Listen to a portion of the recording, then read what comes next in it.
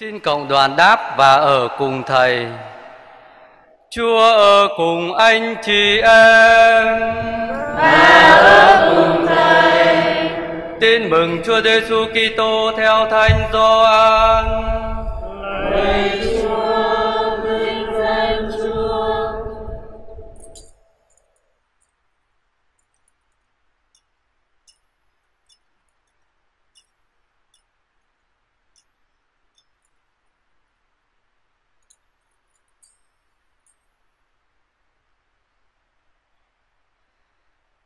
Trước ngày lễ vượt qua, Chúa Giêsu biết đã đến giờ mình phải bỏ thế gian mà về cùng Chúa Cha.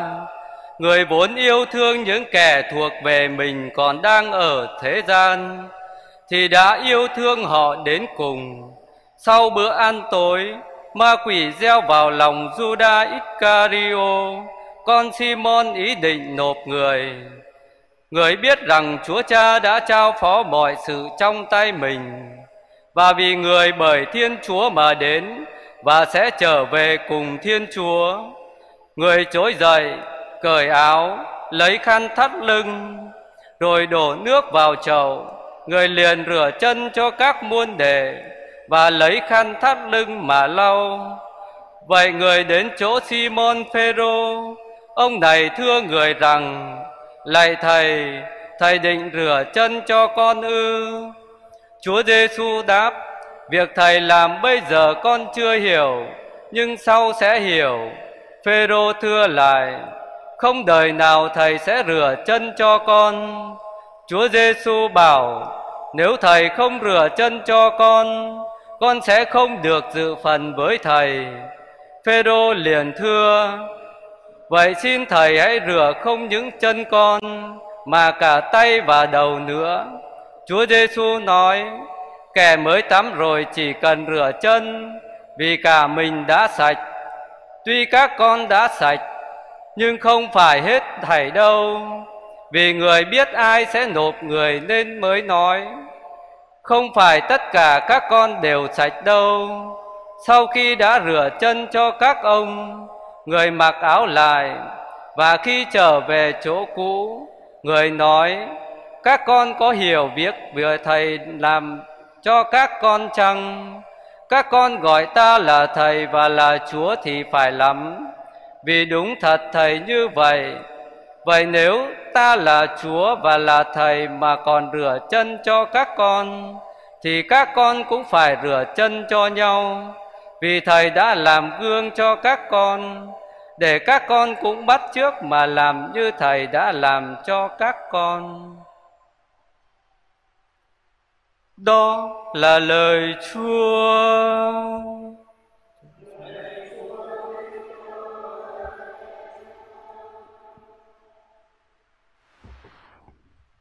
Chúng con cũng hãy rửa chân cho nhau. Kính thưa cộng đoàn phụng vụ, hôm nay hội thánh khai mạc Tam Nhật Thánh. Các bài đọc trong thánh lễ hôm nay dạy cho chúng ta thấy thế nào là tình yêu phục vụ.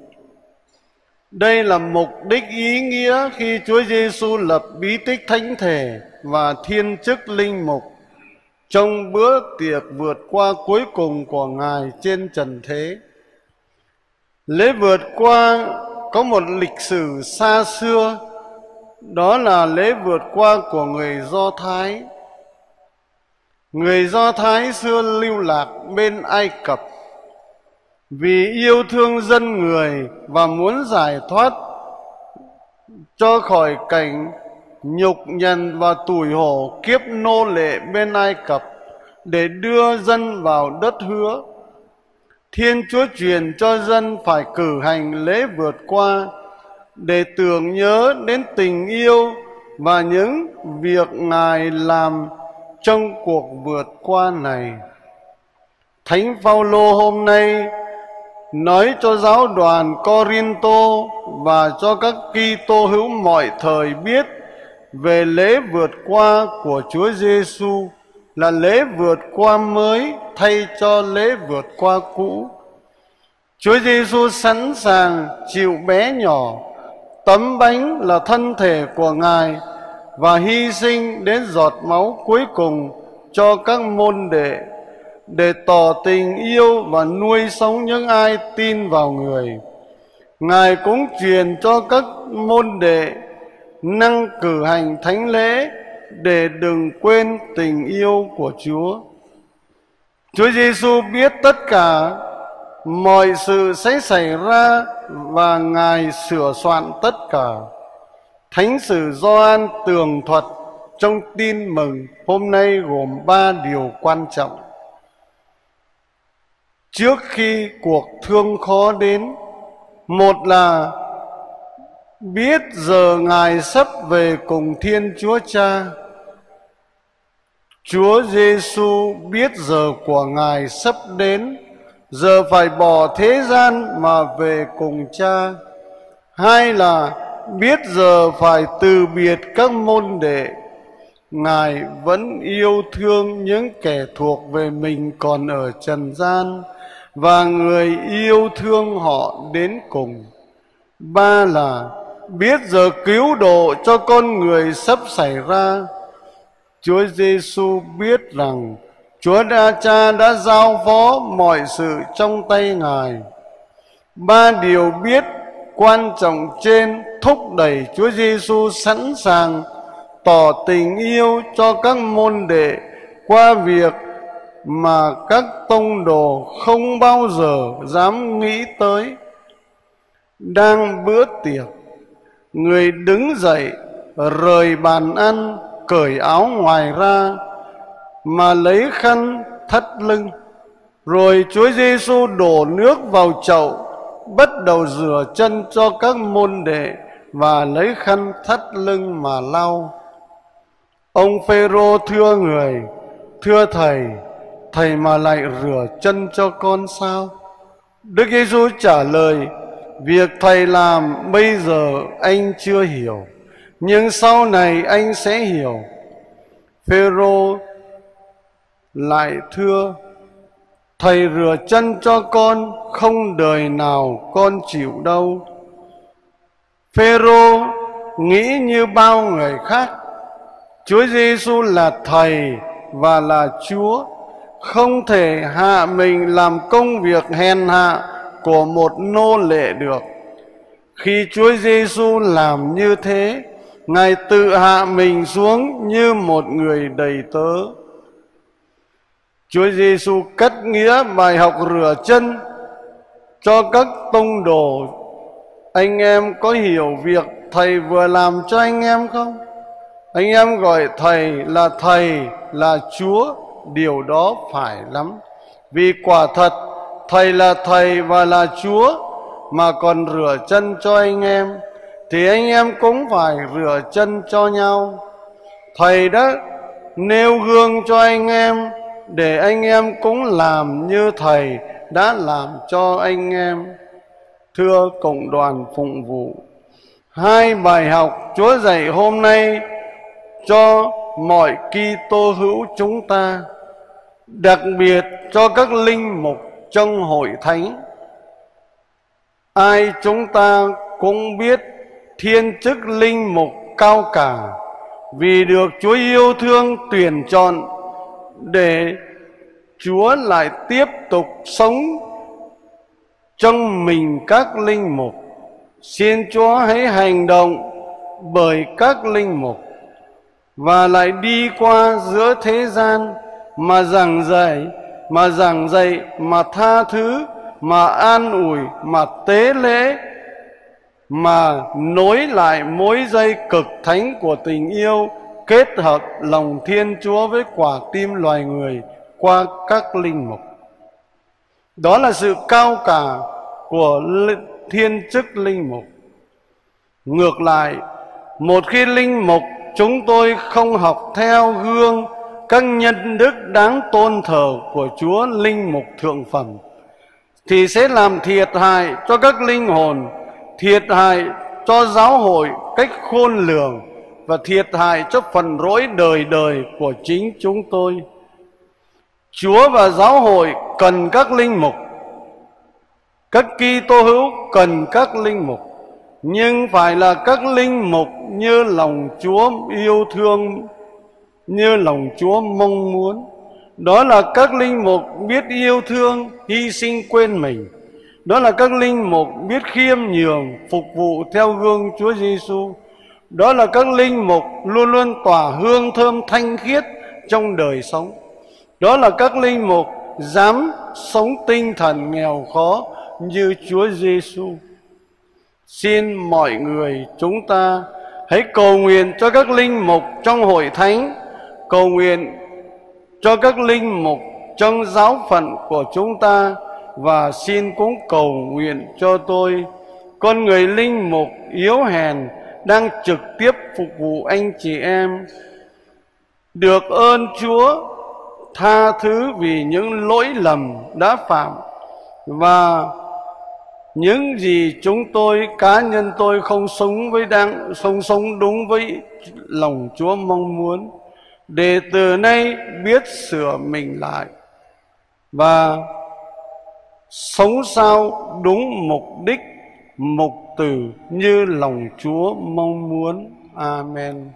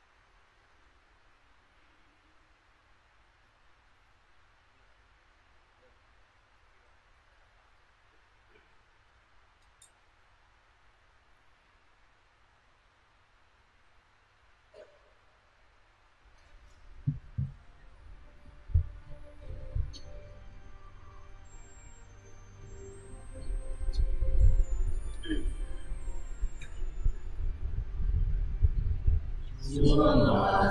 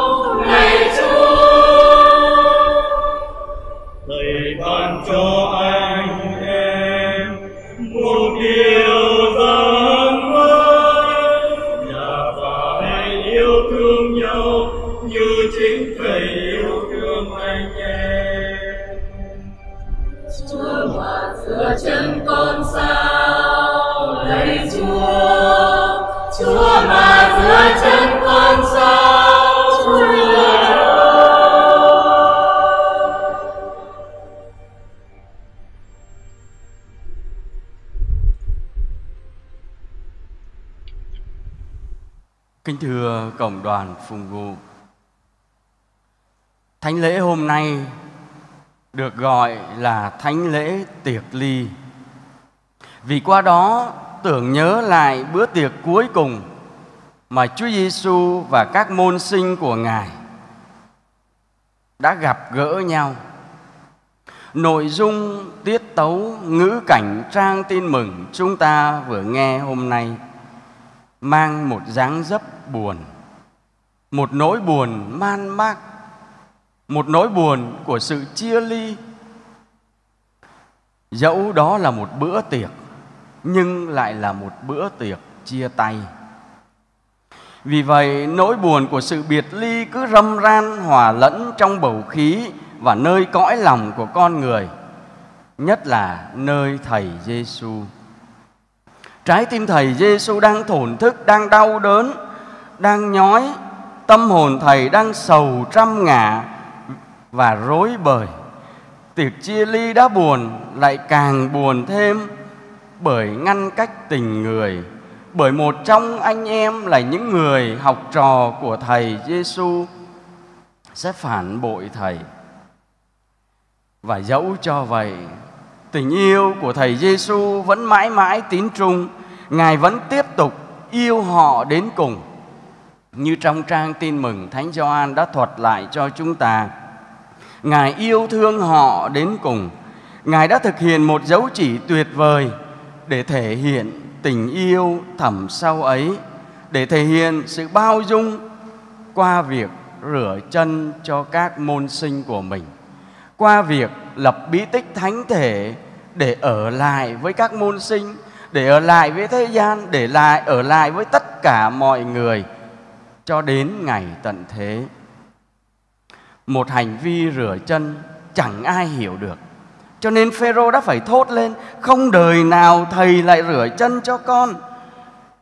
Nhưng Chúa Giêsu vẫn tiếp tục cúi xuống để rửa chân cho các môn đệ của mình.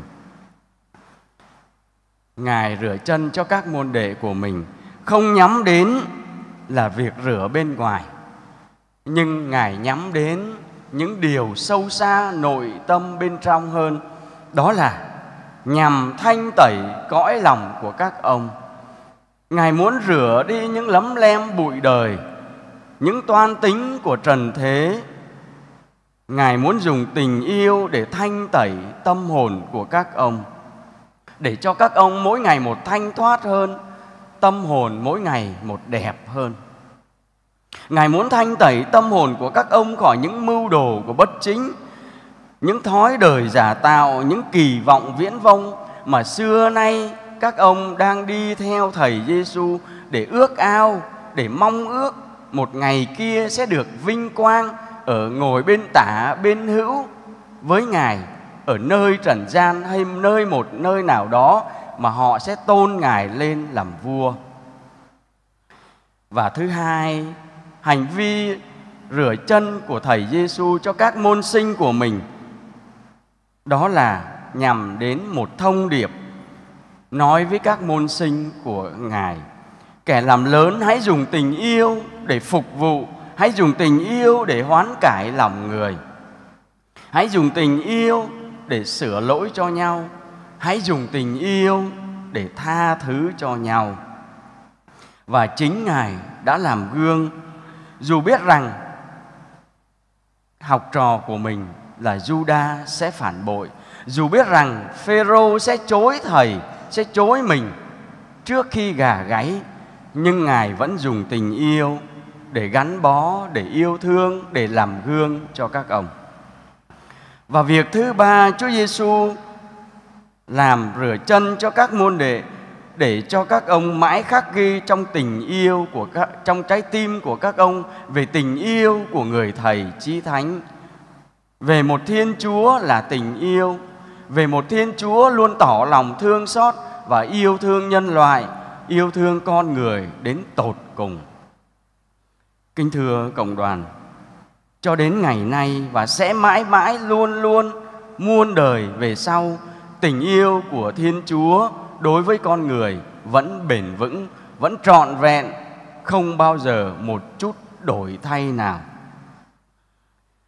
Cho nên hôm nay ngày thứ năm tuần thánh chúng ta cũng nhớ đến bí tích thánh thể mà Thiên Chúa Chúa Giêsu đã lập ở trong bữa tiệc ly hay trong hy lễ ở trên đồi Golgotha Chúa Giêsu đó là một hy lễ duy nhất dâng lên Thiên Chúa Cha và ngày hôm nay hội thánh vẫn lặp lại những điều ấy để cho chúng ta cảm nghiệm được để chúng ta đón nhận được điều ấy được hiện tại hóa ngay ở trên bàn thờ mỗi khi chúng ta tham dự thánh lễ. Kính thưa cộng đoàn, vậy còn chia ly hay không? Như ở đầu chúng ta gợi lên với nhau. Còn buồn hay không khi thầy Giêsu xa chúng ta? Câu trả lời là không. Bởi vì chia ly nhưng không biệt ly. Chia ly nhưng không bao giờ cách ly. Chia ly nhưng thầy Giêsu năm xưa vẫn ở với chúng ta mãi mãi, vẫn ngự đến với chúng ta trong tâm hồn khi chúng ta rước mình vào máu Ngài qua bí tích thánh thể. Chia ly, nhưng không chia ly, bởi vì người mục tử Giêsu vẫn hiện diện ở nơi các linh mục mà trong bữa tiệc ly, Chúa Giêsu cũng đã lập bí tích thiên chức linh mục để qua bàn tay, qua lời truyền phép của các linh mục cho chúng ta để nơi mỗi cộng đoàn chúng ta lại có bí tích thánh thể Chúa Giêsu hiện diện, trọn vẹn và đích thực ở trong tấm bánh nhỏ bé.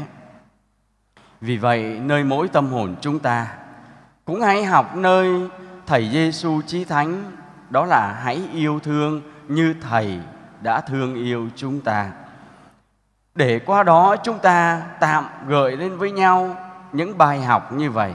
Bài học thứ nhất đó là cũng hãy có tinh thần, tâm hồn tự hủy và khiêm nhường.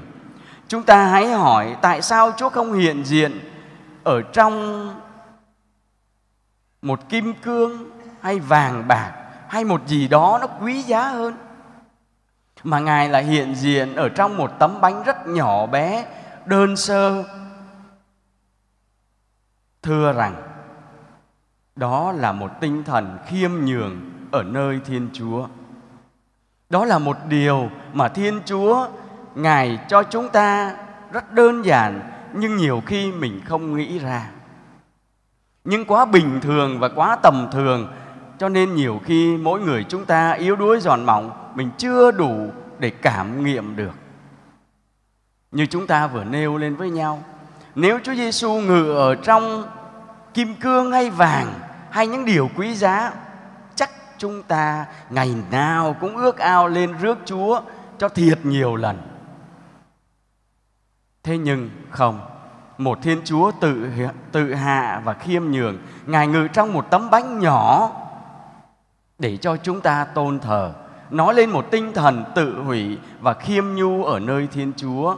Vì vậy, bài học khiêm nhường nơi mỗi chúng ta rất thiết thực và cần thiết ở trong cuộc sống ngày hôm nay chúng ta khiêm nhường bằng cách sống nói những lời thật khiêm nhu, bỏ bớt đi tinh thần kiêu căng tự mãn, bớt đi những điều mà mình có thể cho rằng luôn luôn mình đang là nhất.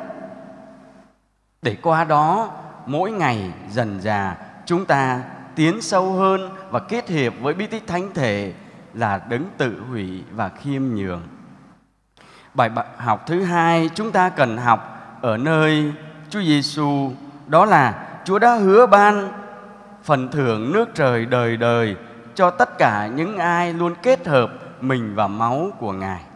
Nơi mỗi người chúng ta hôm nay cũng hãy luôn chuyên chăm để rước mình vào máu Chúa Kitô. Muốn như vậy, nơi mỗi tâm hồn của chúng ta luôn chuẩn bị một cách xứng hợp. Xứng hợp điều thứ nhất, đó là sạch tội. Xứng hợp điều thứ hai là biết tôn thờ thánh thể mỗi khi mình đã rước vào lòng.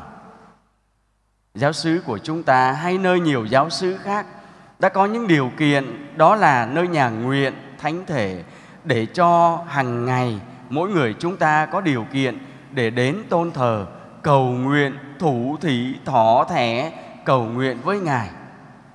Thế nhưng nhìn lại một thời gian vừa qua hay nói hơn đó là một thời gian ngắn ở trong mùa chay vừa qua mình đếm lại mình nghĩ lại coi đã biết bao nhiêu lần được mấy lần mình đến để thờ lạy Chúa để cầu nguyện với Chúa ở nơi nhà chầu thánh thể. Kính thưa cộng đoàn, một bài học cuối cùng mà Thiên Chúa mời gọi chúng ta dõi theo nữa, đó là một tình yêu hy sinh. Thiên Chúa đã hy sinh, đã yêu thương con người đến độ chết vì người mình yêu. Ông bà anh chị em chúng ta, các bậc làm cha làm mẹ, tình yêu vợ chồng ở nơi gia đình, khi mình cưới nhau, mình đã thề non hẹn biển để xây dựng một tình yêu mỗi ngày một vuông tròn hơn vậy thì mình đã hy sinh cho người mình yêu chưa mình đã hy sinh để hướng dẫn dạy dỗ con cái của mình là kết quả của tình yêu hay chưa? Cha mẹ nuôi nấng, dạy dỗ con cái biết bao nhiêu hy sinh, nắng mưa dãi dầm biết bao nhiêu những lao nhọc hy sinh cho con cái. Vậy nơi mỗi người con của chúng ta chúng ta cũng đã hy sinh cho những bậc làm cha, làm mẹ của mình được đến đâu? Kính thưa cộng đoàn thứ năm tuần thánh thánh lễ tiệc ly một mặt chúng ta tôn thờ thiên chúa đã lập bí tích thánh thể thiên chức linh mục và cúi xuống rửa chân để nêu cao lên những bài học cho chúng ta qua đó cũng gợi lại cho chúng ta những bài học rất thiết thực rất cần thiết và phải sống ngay ở trong đời sống này. Câu cuối ở trong tin mừng mà khi Chúa Giêsu nói việc rửa chân, người nói rằng anh em cũng phải rửa chân cho nhau, phải rửa chân cho nhau. Nơi mỗi người chúng ta ước gì trong mùa chay thánh này rồi, tới này mùa phục sinh sắp tới, chúng ta cũng hãy cúi xuống để rửa chân cho nhau bằng những hành vi phục vụ, bằng những khiêm nhường, bằng những hy sinh để qua đó nơi gia đình nảy nở thêm tình yêu vang dậy những nụ cười và có một bầu khí gia đình ấm cúng một bầu khí của lòng Chúa thương xót và tình huynh đệ với nhau. Amen.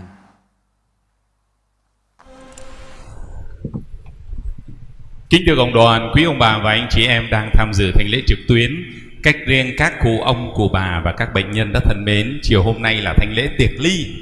Và trong thánh lễ chiều hôm nay có ba hình ảnh mà tất cả chúng ta sẽ ghi nhớ mãi mãi trong tâm, trong tim, trong óc của chúng ta. Hình ảnh thứ nhất Đức Giêsu cúi xuống rửa chân cho các môn đệ. Điều mà ông Phêrô cảm thấy rằng thầy mà rửa chân cho con sao? Và Chúa Giêsu nói nếu thầy không rửa chân cho anh, anh không được dự phần với thầy. Thế thì Chúa Giêsu là thầy là Chúa mà còn làm cái điều đó. Vì thế Chúa dạy tất cả chúng ta bài học hãy biết phục vụ lẫn nhau.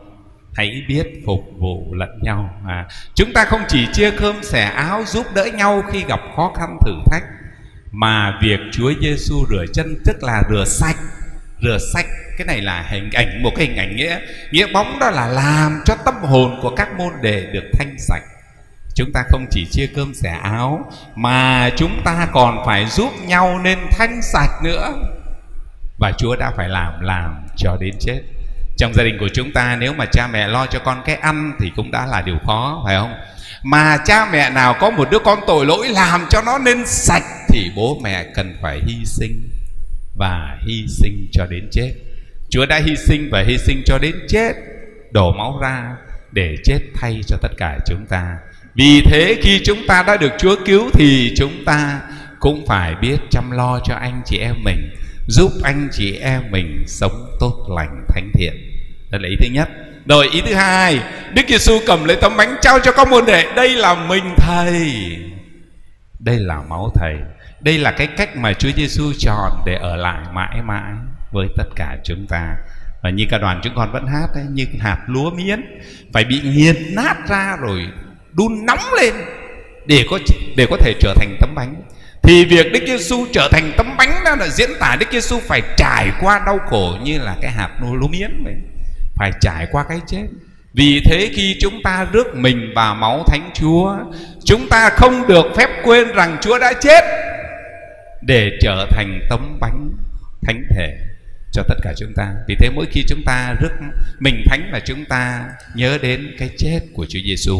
Và khi chúng ta rước mình máu thánh Chúa, chúng ta đón nhận cái chết tình yêu của Chúa thì chúng ta cũng phải biết hiến thân cho anh chị em mình. Đó là ý nghĩa thứ hai, Đức Giêsu thiết lập bí tích thánh thể. À. Rồi ý thứ ba, Chúa Giêsu nói với các môn đệ là mỗi khi anh em làm việc này là anh em tưởng nhớ đến thầy, tức là khi anh em cử hành à, bẻ bánh trao cho anh chị em mình tức là Chúa Giêsu đã yêu thương chúng ta và Ngài đã chia sẻ chức tư tế vĩnh viễn của Ngài cho các linh mục trong đó có con để mỗi ngày nhờ được Chúa chia sẻ thừa tác vụ uh, thượng tế của Ngài. Mà con mới có thể cử hành thánh lễ để cho ông bà anh chị em được rước thánh thể. Con có thể ngồi tòa để giải tội cho anh chị em. Con có thể rửa tội cho anh chị em. Con có thể sức giàu cho anh chị em. Tất cả là lòng thương xót của Thiên Chúa. Ngày hôm nay Chúa Giêsu lập thiết lập bí tích à, gọi là bí tích truyền chức thánh, thiết lập chức linh mục để là một dấu chỉ hữu hình Chúa đang hiện diện. Chúa đang hiện diện và cử hành thánh lễ mỗi ngày cho tất cả chúng ta. Chúng ta ghi nhớ bài hình ảnh đó nha để sống trong đời sống đức tin của chúng ta. Thứ nhất, rửa chân cho nhau. Thứ hai, hãy yêu mến thánh thể, hãy đón nhận cuộc khổ nạn và phục sinh của Chúa để chúng ta cũng sẵn sàng chịu khổ nạn phục sinh với anh chị em chúng ta và cái thứ ba chúng ta tạ ơn Thiên Chúa vì giữa thế gian này có chức linh mục để chúng ta được đón nhận hồng ân của Chúa qua các bi tịch. Và giờ đây hơn bao giờ hết, cha chủ sự sẽ là hình ảnh của Chúa Giêsu cúi xuống rửa chân cho các môn đệ. Chúng ta cũng ghi nhớ rửa chân cho các tông đồ để cuộc sống này chúng ta không có chấp chi nhau, nhưng chúng ta phục vụ lẫn nhau. Ngài đã yêu thương họ đến cùng. Kính thưa cộng đoàn phụng vụ Đây là cảm nhận đức tin của Thánh Gioan Người trình thuật lại cho ta câu chuyện tuyệt ly mà đặc biệt biến cố sự kiện Chúa rửa chân cho các tông đồ. Chúa Giêsu yêu đến cùng bởi vì như người đã nói với chúng ta, người từ Thiên Chúa mà đến và sẽ trở về trong Thiên Chúa. Và tại sao người đã đến? Người đến bởi vì Thiên Chúa muốn cứu độ con người. Thiên Chúa muốn thể hiện tình yêu đến cùng của Ngài cho thế giới, cho loài người. Tình yêu ấy đã manh nha trong công cuộc tạo dựng, nhưng chẳng may đổ vỡ bởi tội phạm của tổ tông. Thiên Chúa tiếp tục con đường yêu thương để thành lập dân Israel qua biến cố xuất hành cứu họ khỏi nô lệ Ai Cập như câu chuyện bài đọc chúng ta mới vừa nghe. Và rồi trong tình yêu đến cùng, Thiên Chúa đã sai con một đến trần gian. Và Đức Giêsu khi đến trần gian, con Chúa khi đến trần gian trong con người của Đức Giêsu Kitô thì cũng chỉ có một ý ước, một mong mỏi đó là vuông tròn thánh ý Chúa Cha. Mà thánh ý Chúa Cha chính là Chúa yêu trần gian đến độ ban con một mình để trần gian được cứu độ. Và trong tâm thức yêu thương, trong năng động tình yêu linh thiêng như thế, hôm nay Đức Giêsu đã làm những việc mà không một con người nào có thể làm. Đó là thành lập thiết lập bí tích thánh thể để trao ban mình máu của người cho chúng ta bánh trở thành mình chúa rượu trở thành máu chúa sau một lời tuyên bố của chúa. Mặc dù thánh doan không ghi viết nhưng thánh phaolô nói với chúng ta trong bài thư chúng ta vừa nghe Ngài đã lãnh nhận cái sứ điệp, cái đức tin từ truyền thống để cho biết trong đêm trước ngày bị trao nộp, Đức Giêsu đã thiết lập bi tích mình máu Chúa qua lời truyền phép trên bánh rồi trên rượu. Rồi một điều kỳ diệu đặc biệt hơn nữa, Chúa lại nói với các tông đồ, các con hãy làm việc này mà nhớ đến ta. Giáo hội trong năng động thánh thần đã đọc thấy lời tuyên bố của Đức Giêsu chính là thiết lập chức linh mục trong hội thánh Chúa Kitô, trong hội thánh công giáo, để tình thương cứu độ được trải dài trong dòng lịch sử, để những con người tuy phận hèn yếu đuối cũng được nâng lên, được ban phát ân thiên thánh thần để đọc lời truyền phép trên bánh trên rượu để bánh rượu trở thành mình máu thánh chúa. Tiếp tục ban phát nuôi dưỡng con cái chúa suốt dòng lịch sử. Đó chính là tình yêu đến cùng. Từ nguyên thủy cho đến tận cùng của ngày thế giới được biến đổi, chúa vẫn yêu thương, chúa vẫn đồng hành, chúa vẫn ban ơn cứu độ rồi thánh doan tuy không ghi viết lại việc chúa thiết lập bí tích thánh thể, bởi vì ngài đã nói quá nhiều ở trong chương về bánh sự sống, chương 6 của tin mừng. Cho nên ở đây ngài lưu ý một điều mà ngài cảm nhận trong đức tin từ cung cách và lời dạy của Đức Giêsu đó là ngài nhắc tới việc Chúa Giêsu rửa chân cho các môn đệ. Như đọc thấy cái mối liên hệ giữa thánh thể và đời sống bác ái phục vụ. Và quả thật Đức Giêsu đã cho biết, thầy làm như thế để chúng con cũng bắt chước mà làm. Thầy làm điều này bởi vì thầy yêu và yêu đến cùng chiều mai đây thầy sẽ hiến thân trên thập giá. Nhưng năng động dẫn tới sự hiến thân chính là tình yêu đến cùng đối với mỗi người. Cho nên chẳng những chúa rửa chân cho các môn đệ khác mà đặc biệt chúa rửa chân cho phêrô mặc dầu ông này ngỏ ý phản đối. Nhưng chúa cho biết nếu con không để thầy rửa cho, con không được thông phần với thầy. Bởi vì không có ơn chúa, chúng ta không thể sống được cái sứ điệp yêu thương, cái ơn đức tin mà chúng ta lãnh nhận. Và rồi yêu đến cùng, cho nên chúa cũng rửa chân cho Juda mà trong một lời ngắm nguyền chúng ta đọc thấy rằng Chúa cũng xa nước mắt mà rửa chân cho Juda nữa. Tất cả những thực tại đó nói lên cho chúng ta tình yêu đến cùng của Thiên Chúa trong Đức Giêsu Kitô. Và đương nhiên cũng mời gọi chúng ta phải có thái độ nào trong đời sống. Chắc chắn phải có thái độ đáp trả tình yêu Chúa nói, như Thầy đã làm, Chúng con cũng hãy làm cho nhau Nhưng chúng ta phận người yếu đuối làm sao có thể yêu đến cùng được Và làm sao có thể phục vụ đến hiến thân mình được. Thực ra thì con người không có thể, Nhưng Chúa, trong ơn Chúa thì có thể. Chúa không đòi buộc chúng ta điều gì mà không ban ơn trước cho chúng ta.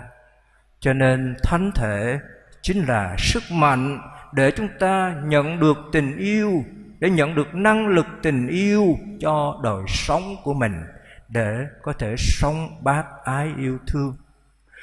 Qua nhị màu thánh thể, qua lời dạy yêu thương của chúa, chúng ta thấy rằng mọi điều có thể được trong ơn chúa, trong đức tin, trong niềm hy vọng và từ đó chúng ta cũng thấy rằng cuộc sống của chúng ta có thể nếm trải những bất hạnh, những cay chua trong cuộc đời. Nhưng tất cả những điều đó sẽ được biến đổi trong ơn chúa để thông phần vào cuộc thương khó của chúa. Và giáo hội vẫn mời gọi chúng ta khi tham dự thánh lễ, hãy dâng lên chúa những của lễ thiêng liêng, chính là những hy sinh bác ái những vất vả nhọc nhằn chúng ta nếm trải trong đời và chắc chắn còn phải biết dâng lên Chúa tội lỗi của chúng ta nữa. Như Phêrô xin Chúa chẳng những rửa chân mà rửa cả toàn thân con. Khi chúng ta biết dâng lên cho Chúa như vậy thì chắc chắn ơn Chúa sẽ giúp cho chúng ta được đổi mới, được phục sinh. Cho nên kính thưa cộng đoàn phụng vụ, ngắm nhìn con Chúa làm người hiến thân cứu độ muôn loài nhân gian. Hạ mình cúi xuống rửa chân dạy ta phục vụ hy sinh khiêm nhường. Sống yêu cho đến tận cùng chúa ban mình máu thần lương nuôi hồn. Tri ân tình chúa chí tôn yêu thương phục vụ tha nhân như thầy. Nguyện sao tam nhật thánh này, ta được đổi mới cùng thầy phục sinh.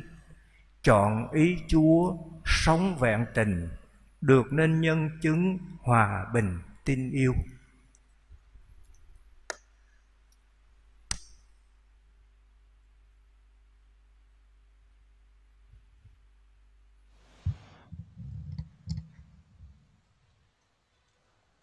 Anh chị em thân mến, với thánh lễ tiệc ly chiều hôm nay, chúng ta bước vào tam nhật thánh là đỉnh cao của năm phùng vụ. Lời Chúa trong thánh lễ này có thể được tóm gọn trong hai cụm từ, đó là yêu thương và phục vụ. Trong bài đọc thứ nhất, trích từ sách xuất hành nổi lên tình thương mà Thiên Chúa dành cho dân Do Thái khi Ngài giải thoát họ khỏi cảnh nô lệ bên Ai Cập và đưa họ vào đất hứa. Và Ngài đã truyền cho dân phải cử hành lễ vượt qua để tưởng nhớ đến tình yêu và những việc Ngài đã làm cho dân. Trong bài đọc thứ hai, Thánh Phaolô nhắc lại cho các tín hữu thành Corinto về việc Chúa Giêsu lập bí tích tánh thể. Đây là mình thầy hiến thân vì anh em. Và đây là máu thầy đổ ra cho nhiều người được tha tội Chúa Giêsu hiến thân và đổ máu mình ra để làm gì nếu không phải là vì yêu thương và để cứu đầu nhân loại chúng ta. Và tình yêu ấy được biểu lộ cao nhất trên thập giá. Và đó cũng là tình yêu đến tận cùng mà Thánh Doan trong bài tin mừng hôm nay đã ghi lại. Trước lễ vượt qua, Chúa Giêsu biết giờ của Ngài đã đến, giờ phải bỏ thế gian mà về với Chúa Cha. Ngài vẫn yêu thương những kẻ thuộc về mình còn ở thế gian và Ngài yêu thương họ đến cùng. Thưa anh chị em, theo các nhà chú giải kinh thánh cụm từ đến cùng có thể mang hai ý nghĩa này theo nghĩa thời gian. Có nghĩa là đến hơi thở cuối cùng. Và theo nghĩa luân lý, có nghĩa là hoàn hảo đến tột độ. Chúa Giêsu đã yêu thương đến cùng, có nghĩa là yêu đến giọt máu cuối cùng và tình yêu ấy đạt đến mức tuyệt đối bởi vì như Thánh Phaolô đã nói, Đức Giêsu vốn dĩ là Thiên Chúa, Nhưng Ngài đã trút bỏ vinh quang,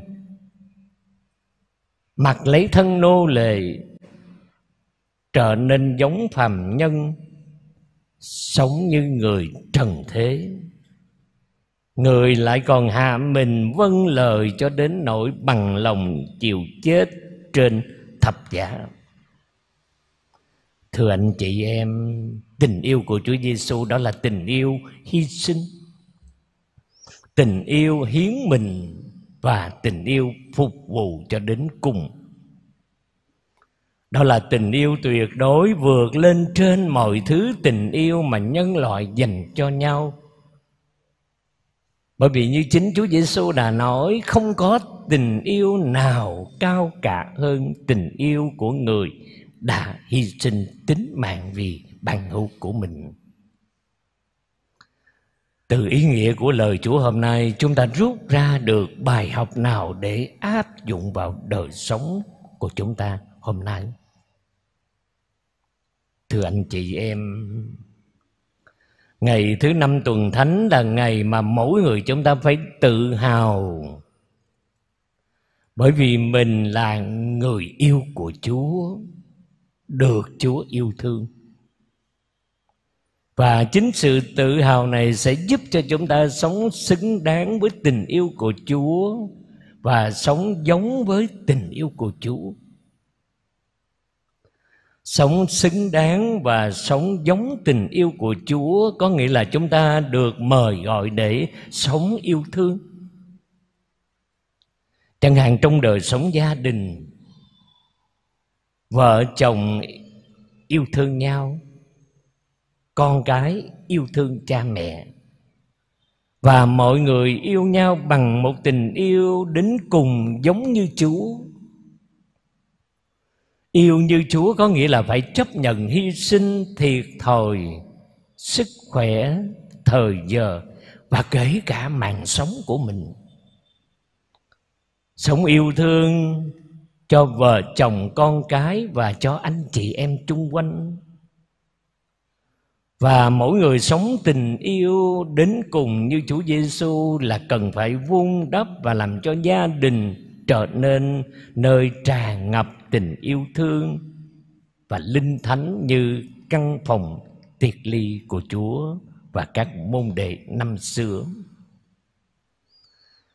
Nếu chúng ta nhìn vào đời sống thực tế của gia đình hôm nay, nhiều lúc vợ chồng nói là yêu đến cùng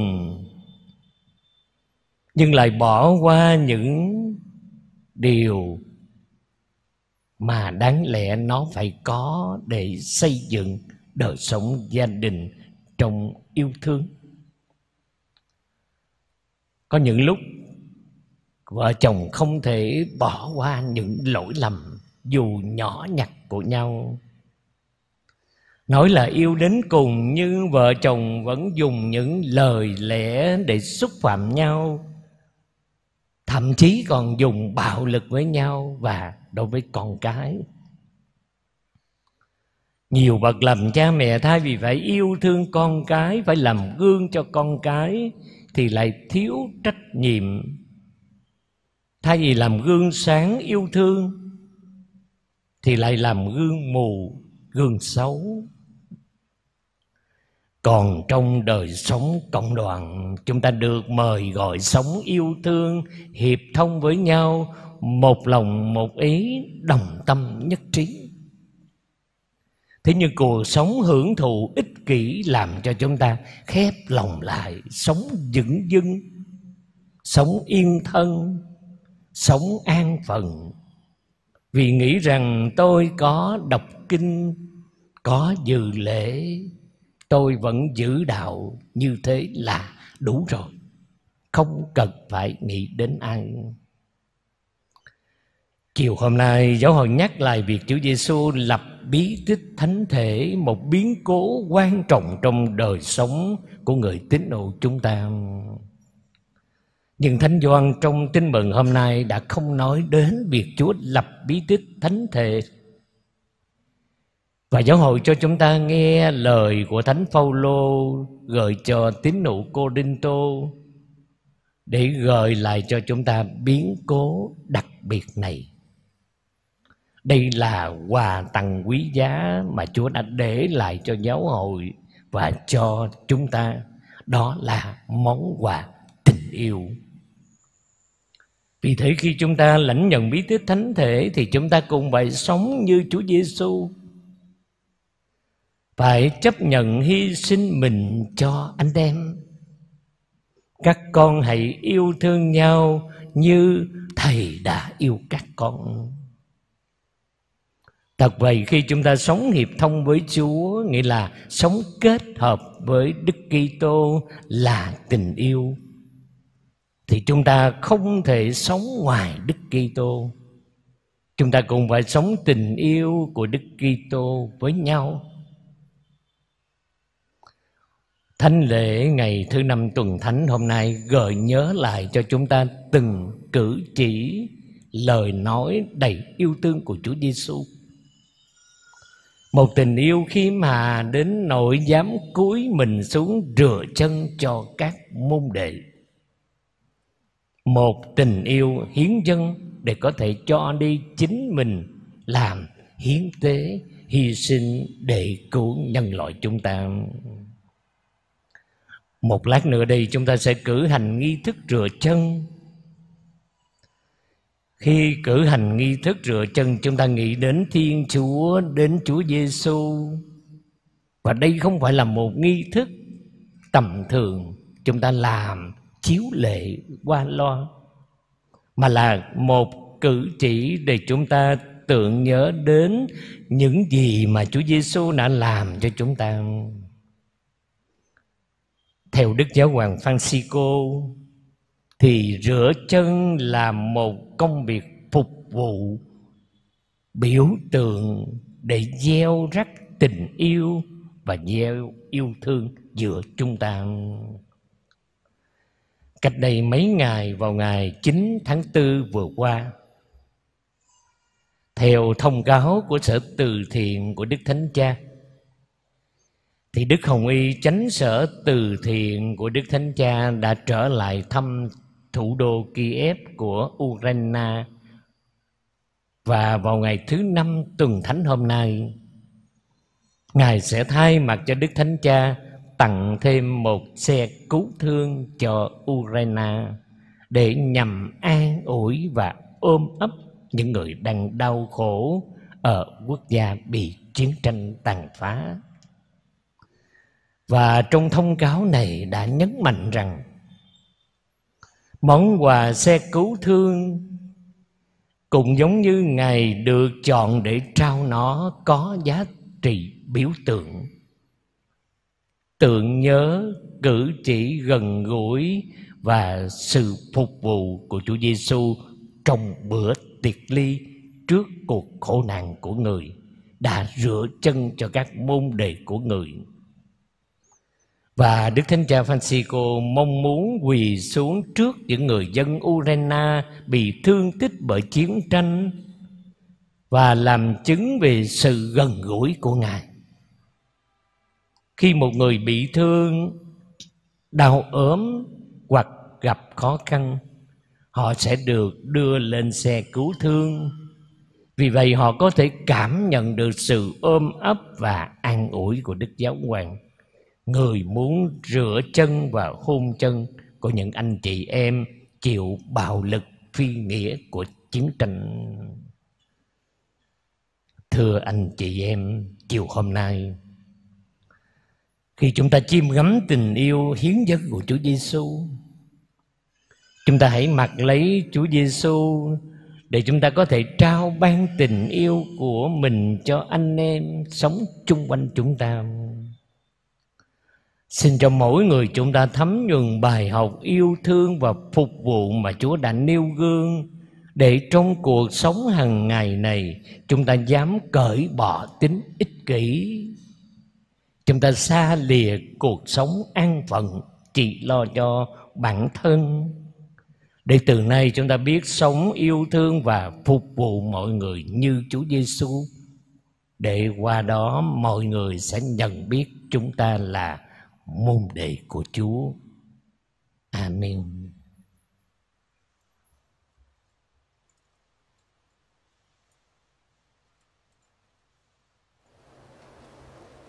Kính thưa cộng đoàn và các con thiếu nhi thân mến, chúng ta đang sống trong bầu khí của tam nhật thánh.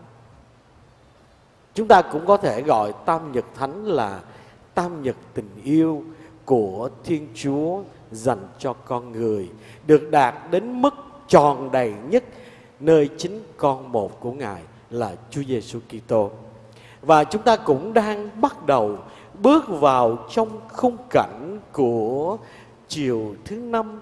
Một buổi chiều mang mát buồn, một buổi chiều với bữa ăn cuối cùng của Chúa Giêsu và các môn đệ. Và chúng ta được mời gọi tất cả các con thiếu nhi cũng như quý bà chị em vào trong bàn tiệc với Chúa Giêsu để xem Chúa Giêsu nói gì với tất cả người chúng ta trong bàn tiệc huynh đệ, trong bàn tiệc yêu thương và những lời chăn chố những lời cuối cùng của Chúa Giêsu khi còn ở trần gian. Và Chúa Giêsu truyền lại cho các môn đệ cũng như là truyền lại cho tất cả chúng ta ngày hôm nay. Đó là những lời nào? Trong khung cảnh của bữa ăn Chúa Giêsu biết biết giờ của Ngài đã đến Giờ của Ngài phải lìa bỏ thế gian mà về với Chúa Cha. Giờ của những kẻ phản bội, phản bội chính Ngài. Giờ Ngài yêu thương những kẻ thuộc về mình. Và Thánh Gioan còn diễn tả Ngài yêu thương họ đến cùng. Trước khi bước vào cuộc thương khó của Chúa Giêsu.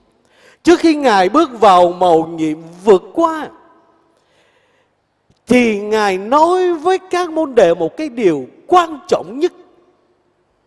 Đó là Ngài yêu thương họ mà yêu thương họ đến cùng. Đến cùng có nghĩa là cái gì?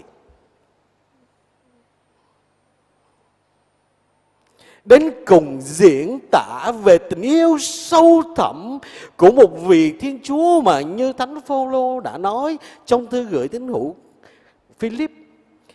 Đức Giêsu Kitô vốn dĩ là Thiên Chúa mà không nghĩ phải nhất quyết duy trì địa vị ngang hàng với Thiên Chúa nhưng mà đã hoàn toàn hủy mình ra không từ bỏ chút bỏ vinh quang mặc lấy thân nô lệ trở nên giống phạm nhân và sống như người trần thế. Và Ngài còn hạ mình cho nỗi, nỗi bằng lòng chịu chết và là cái chết trên thập đó là tình yêu tự hiến của một vị Thiên Chúa không màng chức tước, không màng địa vị. Một tình yêu sâu thẳm mà trong bài tin mừng chúng ta lắng nghe. Ngài trở thành đáng lẽ ngài là một vị chủ ngài là một vị chúa một là vị thầy của các môn đệ nhưng mà giờ đây ngài cúi mình xuống mà rửa chân cho các môn đệ ở đây không chỉ nói đến một việc khiêm nhường của chúa nói vậy thì đơn giản quá nhưng mà đây là một tình yêu sâu thẳm nhất, một tình yêu tự hiến của chính Thiên Chúa yêu thương con người, tẩy xóa tội lỗi con người, để con người được thông phần, để con người được tham dự vào trong chính tình yêu tự hiến của chính Thiên Chúa.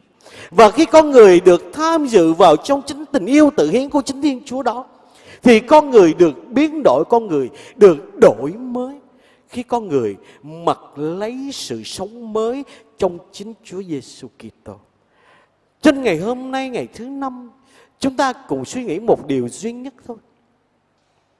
Thiên Chúa yêu thương mỗi người chúng ta. Và Ngài yêu chúng ta đến cùng. Như là Thánh Doan diễn tả.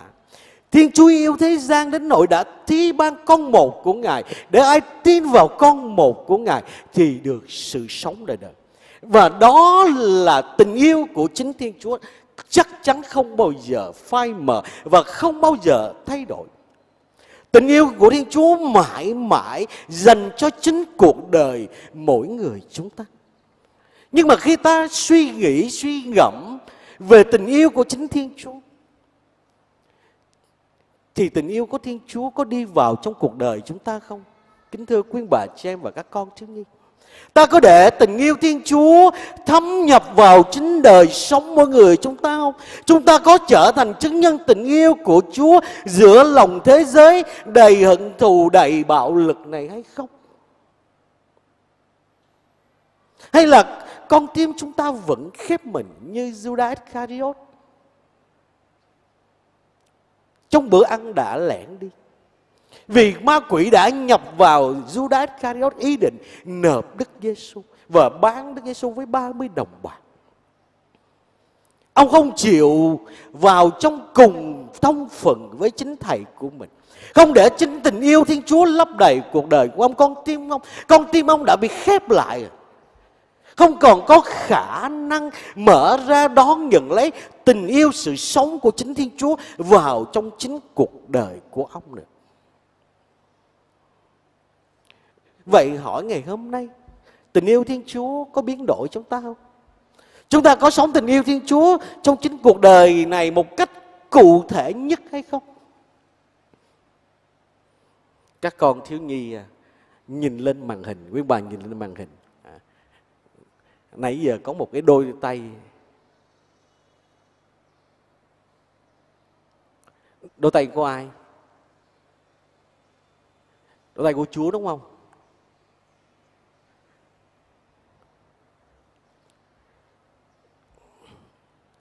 Đôi tay này là một trong những tác phẩm nghệ thuật nổi tiếng trên thế giới, được vẽ vào thế kỷ thứ 15 bởi tác giả Dürer người Đức. Câu chuyện đôi tay này khi được vẽ xong thì thế giới đã đặt cho tác phẩm này là đôi tay cầu nguyện. Anh chị em thấy hai đôi tay chắp lên và hướng lên trời đôi tay cầu nguyện. Nhưng mà thật ra câu chuyện phía bên trong của bức tranh này nó không phải là đôi tay cầu nguyện. Nhưng mà chỉ đơn giản tác giả chỉ bút tích lên cái tác phẩm của mình là đôi tay thôi. Câu chuyện kể vào thế kỷ thứ 15 tại một cái làng quê ở nước Đức nghèo hèn. Thì trong một gia đình này, có tới 18 người con. Ông bố làm lụng vất vả suốt ngày, gần 20 tiếng đồng hồ, Nhưng mà vẫn phải lay quay cuộc sống để nuôi những đứa con của mình. Vất vả. Và có hai anh em đầu tiên ước mơ làm trở thành họa sĩ, đi học trở thành họa sĩ. Nhưng mà nhà nghèo không có đủ tiền, có khả năng để mà có thể cho những đứa con của mình đi học. Cho nên hai anh em sau khi đã ngồi trò chuyện bàn tính với nhau và đi đến một quyết định, tung một cái đồng xu lên. Để đồng xu đó chọn ai sẽ là người đi học vẽ và người còn lại ở nhà phải đi vào hầm mỏ làm lụng vất vả để vừa nuôi gia đình và vừa giúp một người khác đi học. Đồng xu tung lên thì chọn được người anh. Gan bắt đầu đi vào trường học vẽ, và người em ở nhà đi vào hầm mỏ làm lụng, và có một cái dao kèo. Sau khi 4 năm xong thì cái người đi học về sẽ giúp cho cái người đi làm mỏ học làm họa sĩ. Thì cái người anh đi học làm họa sĩ và anh này là một nhân tài vẽ rất đẹp và nó là đẹp hơn cả các giáo sư mà đã dạy ảnh. Cho nên là khi còn là sinh viên, ảnh đã bán được rất là nhiều tranh, nhiều tác phẩm nghệ thuật của anh. Và sau 4 năm thì anh thành danh trở về nhà. Gia đình mở một tiệc mừng anh. Và anh đến gặp người em của mình và nói với người em đây là giờ của em, thời của em đến rồi. Bây giờ em đi học vẽ đi, bao nhiêu anh sẽ lo hết cho em. Nhưng mà người em bắt đầu rơm rớm nước mắt. Vì bốn năm vừa qua, người em đã làm một cách cực khổ trong hầm mỏ, cho đến nỗi là đôi tay bây giờ nó bị chật khớp, không còn cầm có thể nổi cái ly nữa và không còn có khả năng vẽ nữa và người anh đã dường như dành hết toàn bộ tâm trí, tâm hồn của mình để vẽ lên đôi bàn tay đó, để nói lên lòng biết ơn của mình đối với người em, để nói lên cái tấm lòng hy sinh cao cả của người em đã dành cho mình.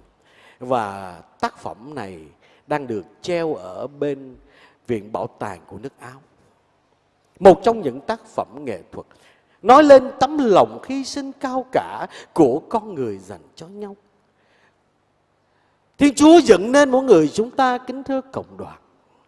Thiên Chúa dựng nên con người chúng ta giống hình ảnh Thiên Chúa, Mà hình ảnh Thiên Chúa là hình ảnh của sự yêu thương, Là của sự trao ban, Là của sự hy sinh cho nhau. Thế giới sẽ không còn đổ vỡ nữa, Thế giới sẽ không còn chiến tranh nữa. Chúng ta không còn hận thù nữa, Gia đình chúng ta không còn tan vỡ nữa, Hàng xóm không còn xích mích nữa Nếu tất cả người chúng ta đều có một đôi bàn tay hướng về trời, nếu mỗi người chúng ta có một đôi bàn tay để biết trao ban và để yêu thương nhau, như chính Chúa Giêsu đã làm Ngài cúi xuống và Ngài dùng đôi tay của chúng Ngài nâng mỗi người chúng ta lên. Đó là tình yêu của Thiên Chúa và Thiên Chúa cũng muốn mỗi người chúng ta là người môn đệ của Ngài. Hãy học biết yêu thương. Đừng bao giờ quá muộn. Không bao giờ là quá muộn. Để mỗi người chúng ta học biết yêu thương, học biết chia sẻ, học biết đón nhận nhau. Cho nên trong ngày thứ năm của tiệc ly này, tất cả người chúng ta được mời gọi đi vào trong bàn tiệc với Chúa. Được cùng ngồi với Chúa, được Chúa rửa chân cho chính mỗi người chúng ta. Đó là cử chỉ của sự trao ban, đó là cử chỉ của sự tự hiến một tình yêu Thiên Chúa. Và khi chúng ta được Thiên Chúa rửa chân trao ban như thế thì Thiên Chúa cũng Chúa Giêsu cũng muốn tất cả người chúng ta biết cúi mình xuống để rửa chân cho nhau. Xin Chúa luôn chúc lành cho tất cả người chúng ta để chúng ta luôn học biết yêu thương anh em chúng ta. Amen.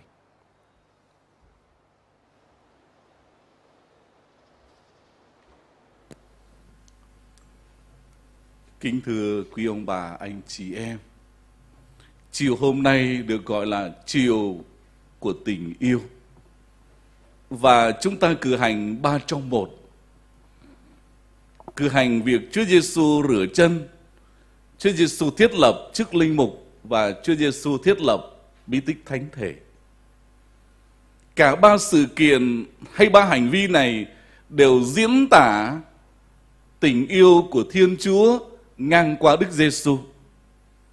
Và chúng ta chỉ có thể hiểu được những việc làm của Chúa Giêsu và cảm nhận được tình yêu này khi chúng ta đặt tất cả trong bối cảnh của quỹ đạo tình yêu. Trước hết, Chúa Giêsu lập bí tích thánh thể. Bối cảnh của chiều hôm nay chúng ta vẫn gọi là lễ tiệc ly. Và lễ tiệc ly được đặt trong bối cảnh là lễ vượt qua của người Do Thái. Tại sao vậy?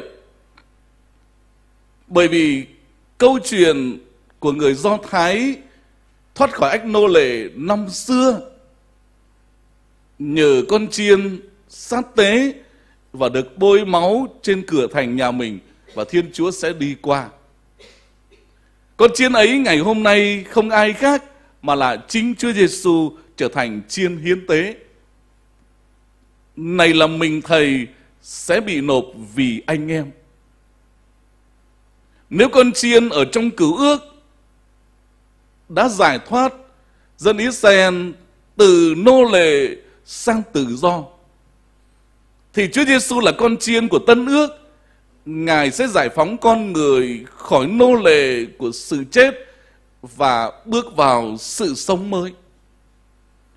Nếu con chiên ở trong cửu ước đã đưa con người băng qua biển đỏ để vào hứa địa thì con chiên của tân ước là chính Chúa Giêsu lại trở nên sức sống cho chúng ta một sức sống vĩnh cửu. Như vậy chúng ta hiểu rằng Chúa Giêsu đã thiết lập bí tích thánh thể để trở nên nguồn sức sống cho chúng ta. Và chúng ta chỉ có thể hiểu được lý do Chúa sử bí tích thánh thể khi chúng ta đặt trong mối tương quan và suy nghĩ của con người. Khi chúng ta yêu nhau thì luôn luôn muốn người đó ở bên cạnh và không bao giờ rời xa. Chúa Giêsu cũng có một sáng kiến tuyệt vời và độc đáo, đó là Ngài muốn trở nên tấm bánh bị nghiền nát và được tan hòa trong mỗi người chúng ta để ở với chúng ta và đồng hành với chúng ta trên nẻo đường lữ hành về nhà cha. Và chính điều này Chúa Giêsu đã thiết lập bí tích thánh thể như dấu chỉ của tình yêu và một tình yêu hiện diện sống động trong con người. Chính vì vậy mà chiều hôm nay không phải chúng ta cử hành hay là tưởng nhớ một biến cố đã qua cách đây 2.000 năm, mà là hiện tại hóa chính mầu nhiệm mà Chúa Giêsu đã cử hành trong phòng tiệc ly năm xưa. Làm cho biến cố ấy được sống dậy ở trong cuộc sống hiện tại và sinh ích cho chúng ta. Điểm thứ hai là Chúa Giêsu thiết lập bí tích truyền chức thánh. Các con hãy làm việc này mà nhớ đến Thầy. Người Do Thái nhớ lại biến cố năm xưa vượt qua ấy để ca ngợi kỳ công của Thiên Chúa, để tưởng nhớ những việc tốt đẹp mà Chúa đã làm cho họ, cho cha ông họ. Thì ngày hôm nay chúng ta không đơn giản chỉ là nhớ lại mà Chúa Giêsu mời gọi, trao ban cho các linh mục, chức linh mục thừa tác để nhân danh Chúa Giêsu các ngài làm cho bí tích thánh thể nói đúng hơn là làm cho Chúa Giêsu hiền hữu và hiền diện trong dòng thời gian để tiếp tục mang ơn cứu độ cho nhân thế hôm nay. Đây có thể nói là một hành vi rất mạo hiểm bởi vì Thiên Chúa chọn những con người rất đối tầm tầm thường như bao con người khác để rồi nhờ những con người ấy Chúa sử dụng để trao ban chức linh mục để cử hành bí tích thánh thể. Như Thánh Phaolô nói, giống như một cái bình sành dễ vỡ. Vâng, phận người là thế, nhưng mà Chúa đã tuyển chọn, không phải các con đã chọn thầy, nhưng chính thầy đã chọn các con. Và chức linh mục được thiết lập cho hội thánh và vì hội thánh.